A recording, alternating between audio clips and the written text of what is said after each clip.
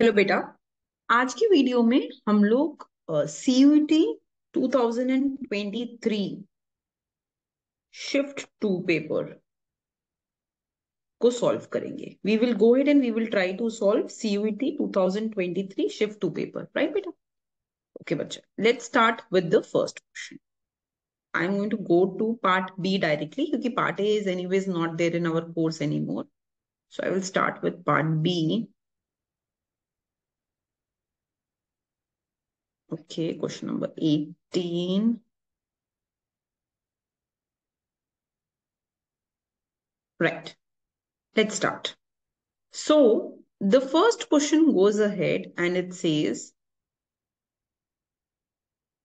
market fail in the presence of. So when, when market fails, beta. See, market failure takes place in the following cases. Whenever you have public goods, whenever you have the problem of externalities चाहे वो positive externality हो या negative does not matter but whenever you have the problem of externalities positive or negative public goods and whenever you have asymmetric information हाँ बच्चे इसमें ना सब problems आ जाती है moral hazard asymmetric information uh, principal agent problem, all of these. And whenever you have imperfect competition, imperfect competition में भी सब कुछ आ जाता है like for example monopoly, monopolistic, oligopoly, हाँ monopsony ये सब के सब आ जाते हैं so in all these cases market will fail so market does not fail only under competitive perfectly competitive market इसके अलावा market will fail so A, B, C and E these seem to be the right option in this question and therefore we can go with option number 4. Right, beta? Okay, bache, come to the next question. Next question goes ahead and says, you need to match list 1 with list 2. Okay, beta? देखो see private goods are those goods which are देखो मैं taxonomy बना देती हूँ एक बारी तो taxonomy क्या होता है ना we make a matrix यहाँ पे मैं लिख रही हूँ excludable. Here I am writing non-excludable. Rivalrous, non-rivalrous. ठीक है बच्चे एक्सक्लूडेबल एंड राइवलरस जो गुड्स एक्सक्लूडेड एक्सक्लूड भी कर सकते हो एक्सक्लूड मींस आप उस पर एक प्राइस लगा दो like pizza if I put a price on pizza then only the people who can afford pizza will be able to buy pizza. और rivalrous माने वो goods जिनकी एक की कंजम्पशन से दूसरे को फ़र्क पड़े again pizza if I will take one bite of pizza तो आपके लिए एक बाइट कम है अगर मैं उसका एक स्लाइस ले लेती हूँ आपके लिए एक स्लाइस कम है so if I consume pizza it will make less it will be um, uh, take you know it will make sure that you have less availability of pizza for you huh So those goods which are excludable and rivalrous, they are called as private goods. बच्चे इसका एकदम opposite. Those goods which are non-excludable and non-rivalrous, they become public good. Those goods which are excludable, जिनको exclude तो कर सकते हैं, I can put a price on them, but they are non-rivalrous. एक की consumption से दूसरे को फ़र्क नहीं पड़ेगा. They are club goods. Like theater. You go to watch a movie, there is a price on the movie but अगर मैं एक सीट पे बैठ के शाहरुख खान को देख रही हूँ तो दूसरा बंदा भी तो देख सकते हैं ना? The person can also watch the same movie तो मेरे एस आर के को देखने से आपके लिए तो उसका व्यू एंड उसका चार्म एंड उसका सब कुछ खत्म नहीं हो रहा right you also get to see the same actor that I get to see so these are club goods and last is non-excludable but rivalrous good. So non-excludable plus rivalrous goods, they are known as common goods like grazing है ना? इसका बहुत example uh, इसका बहुत common हम पढ़ते हैं which is called as tragedy of commons we go head and study this topic ना? ट्रेजेडी ऑफ़ कॉमन्स तो on that basis let us go head and try to match the following बच्चे. तो we can say that private goods can be match to rivalrous and excludable तो माने मेरा answer would be two A can be match to to Club goods can be matched to excludable and non-rivalrous. So club goods will be 1, right? So I can see that this matches the option number 3. A is 2, B is 1. That means answer should be C. Clear है बच्चे बाकी भी match कर लेते So common goods are those goods which are non-excludable in rivalrous. So non-excludable and rivalrous मतलब 4 and public goods are non-rivalrous and non-excludable. Clear, bache? Okay, beta, come to the next question. In this, this says that you need to go ahead and uh, you need to tell me the correct statements. Life cycle hypothesis was given by Modigliani. Correct, beta. Life cycle is given by Modigliani. Absolute income hypothesis was given by, this is incorrect, it was given by Keynes. Relative income hypothesis was given by Duesenberry. Absolutely correct, hai Permanent income hypothesis was given by Keynes. Incorrect. It was given by Friedman. So uh, A and C are correct. That means the correct answer to this question will be 1. A and C are correct options. Take a beta. Come to the next question. The next question goes ahead and says, you're given assertion and reasoning. So assertion kya bol raha hai? Pareto optimality implies that allocation of resources inefficient when it is possible through some change in allocation to benefit at least one person without making the other person worse off. Correct? ये तो Pareto optimality की definition ही है Pareto optimality क्या होता है कि हम ऐसा पॉसिबल नहीं कर सकते हैं कि हम जब एक पॉइंट से दूसरे पॉइंट पे जाएँ तो अगर person when I go from A to B अगर person one higher indifference curve पे जा रहा है तो person B lower indifference curve पे ऑटोमेटिकली जाएगा। So when you will be increasing the utility of one person it will be only when you decrease the utility of the other person अगर आप दोनों की ही यूटिलिटी को improve कर पाओगे तो जो हमारा एग्जिस्टिंग पॉइंट होगा that will be called as Pareto improvement point क्योंकि हम दोनों की यूटिलिटी को उस पॉइंट के कंपैरिजन में इंप्रूव कर पा रहे हैं राइट सो फॉर एग्जांपल बच्चे if I go head and I tell you that this is indifference curve of individual one indifference curve of individual two and यहाँ पे हमें दिख रहा है दैट पॉइंट ए एग्जिस्ट तो this is called a Pareto improvement point क्यों बेटा? क्योंकि दोनों ही हायर इंडिफरेंस कर्व पे जा सकते हैं. Make us check that individual one can go on a higher indifference curve. थोड़ा और ऊपर की तरफ चला गया he has gone on a higher indifference curve. And check that individual 2 can also go on a higher indifference curve, more away from his origin. So, ये जो point आएगा, this point that I get, this will be Pareto efficient, right? So, Pareto optimality implies an allocation Is inefficient कब एक allocation inefficient होती है? When it is possible to benefit one person without making other worse off अगर मैं एक को better of कर पा रही हूँ and I am not making other worse off तो ये पेरेटो एफिशियंट नहीं है, ये इन एफिशियंट एलोकेशन है. तो that's correct now come to the reason बेटा.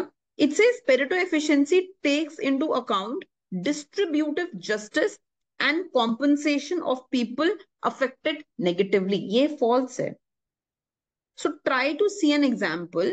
Consider this Edgeworth box. Huh? and I am saying that this is origin of individual A and B. बेटा contract curve कब कैसे बनाते हैं हम when I make ICs and I join all tangent points it gives me the contract curve what is this contract curve telling me क्या बताता है ये contract curve it goes ahead and it tells me the point of all Pareto efficient points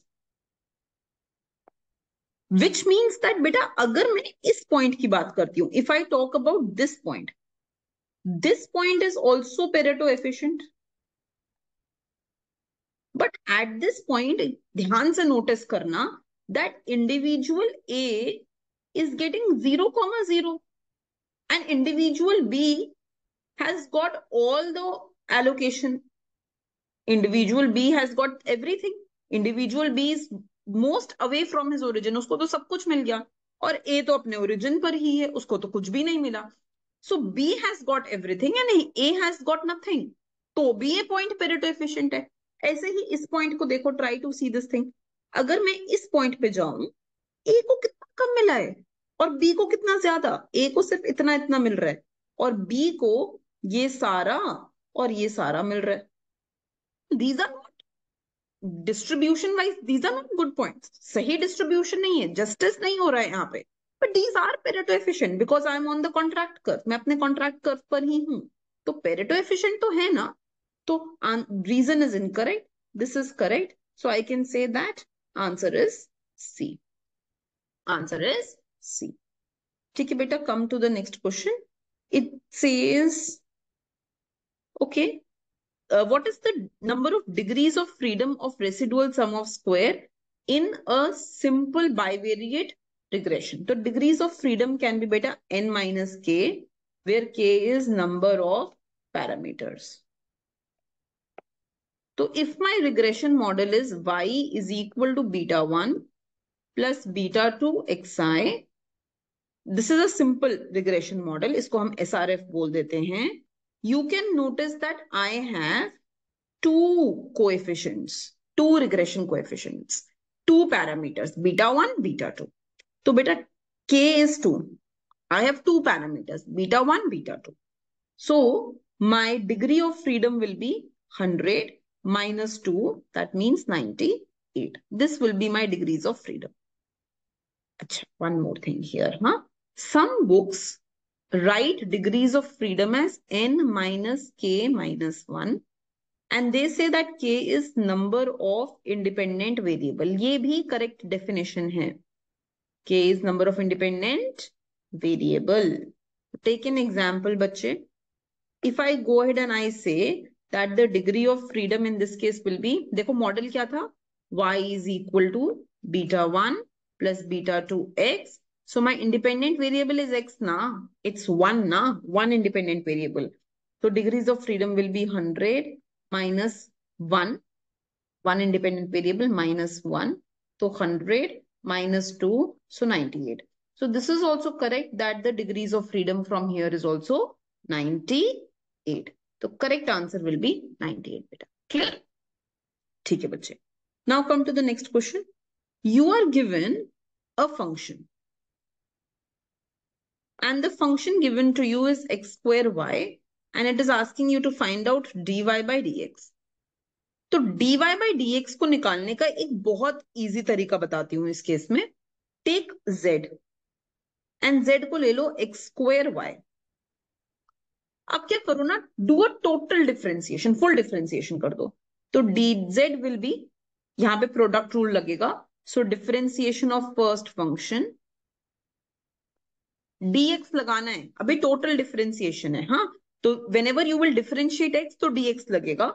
Into second as it is plus first function as it is differentiation of second function now what you will do ना dz को we will plug it zero here so 0 is equal to 2x dx into y plus x square dy. अब dy by dx निकाल लो. So minus 2x dx is equal to x square dy. So dy by dx will be minus 2xy by x square. So bacha, this will be minus 2y by x. Minus 2y by x. So the correct answer to this question will be 2. Clear? Clear everyone? ठीक है बेटा. Come to the next question. It says find the degree of homogeneity. देखो. To find the degree of a homogeneity, हम x की जगह पे lambda x लिख देते हैं, y की जगह पे लैमडा y लिख देते हैं। So lambda x whole cube by lambda y plus lambda y whole cube by lambda x. तो बच्चे this will be lambda cube x cube by lambda y plus lambda cube y cube by lambda x. So this will be lambda square. ये cancel हो जाएगा ना? Lambda square x cube y plus lambda square y cube by x. Lambda square out. x cube by y plus y cube by x. Beta lambda square function of x y. Function of x and y. So what is the power of lambda? 2 na? So the degrees of homogeneity will be two क्या हो जाएगा degree of homogeneity बच्चे? Come to the next question बेटा। It says data collected at one point one point means बेटा time period तो हमने fix कर दिया।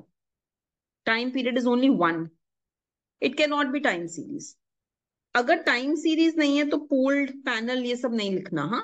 तो data collected at one time period it means that it has to be cross sectional let me give you an example जैसे अगर मैं आपको बोलूं कि for the year 2024 tell me the inflation tell me human development index tell me GDP growth rate so I am collecting different values but in one time period ना तो it will become cross sectional data. It will become cross-sectional data. ठीक है बेटा come to the next question.